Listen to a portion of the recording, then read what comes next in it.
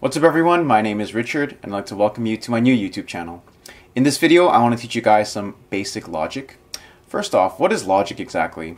The 18th century English philosopher Isaac Watts defined logic in the following way. He said, Logic is the art of using reason well in our inquiries after truth and the communication of that truth to others. So why should we study logic? We should study it because it'll help us reason more effectively.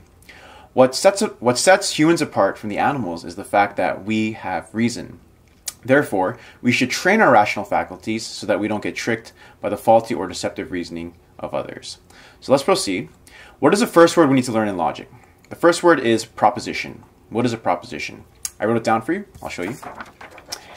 A proposition is any sentence that signifies either truth or falsehood. A proposition is any sentence that signifies either truth or falsehood. There is a more technical definition used by philosophers, and that definition is a proposition is the content or meaning of a declarative sentence capable of truth or falsity, but we won't be using that one. We'll stick with this easier one, which was given by the 16th century English logician Thomas Wilson. So his definition is still pretty good. We'll be using this one. So let me give you some examples of propositions. The sentence, I like pizza, is a proposition. That sentence can be true or false. Uh, the sentence, Isaac Newton was a scientist, is a proposition because that sentence can be true or false. It's important to note that commands cannot be propositions because they can't be true or false. Um, the statement, do your homework, cannot be a proposition because it can't be true or false. Commands can be obeyed or disobeyed, but they cannot be said to be true or false. Likewise, questions are not propositions. If I ask you, how are you, that sentence itself can't be true or false. Um, your answer could be a proposition. You could say, I'm doing well, and that could be true or false, but um, the question itself cannot. So good. First thing is proposition. A proposition is any sentence that signifies either truth or falsehood. The next two words we need to learn are the words premise and conclusion. So what's a premise? A premise is a proposition that logically proves or supports a conclusion. A premise is a proposition that logically proves or supports a conclusion. What is a conclusion? A conclusion is a proposition that logically follows from the premise. A conclusion is a proposition that logically follows from the premise. So an argument consists of a premise and a conclusion. So let me give you an example. Um, Bob eats three greasy Big Macs per day.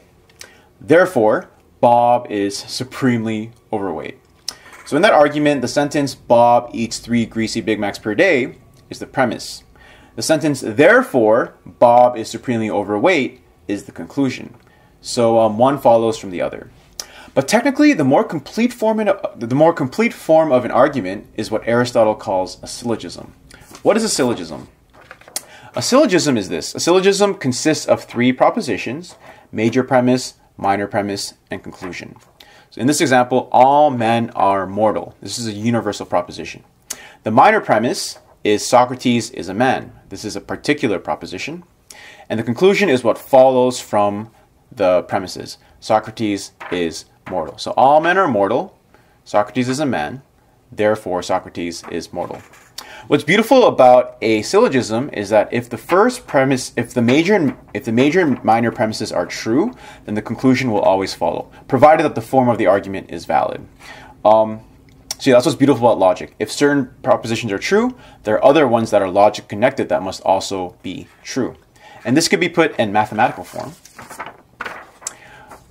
All A is B, all C is A, all C is B. A, B, C can indicate anything men, mortals, animals, whatever. So in our previous example, all men are mortal. Socrates is a man, therefore, Socrates is mortal. When you're debating someone, you have two options um, if you wish to refute their argument. Um, the first option is to prove that one of the premises are false. If you could show that one of these are contrary to reality, then your opponent's argument falls. The second option is to show that the conclusion does not logically follow from the premises. There are arguments in which the premises are true, but the conclusion does not logically follow. And when that happens, you could use a fancy Latin phrase non sequitur. Non sequitur. And this means it does not follow. So if you want to sound smarter than you actually are, use the phrase non sequitur. Latin is good for being pretentious. Very nice. So, a review of how to refute someone's argument. You could either prove that one of the premises are false, or you could prove that the conclusion does not logically follow from the premises. And if you've done that, you've won the argument. Well, you've destroyed your opponent's argument, and you have to present your own now. Nice. I'll leave it at that. Thanks for watching. If you enjoyed this video, press that like button, subscribe, and leave a comment. Uh, my next video should be out next week, so I'll see you then. Peace.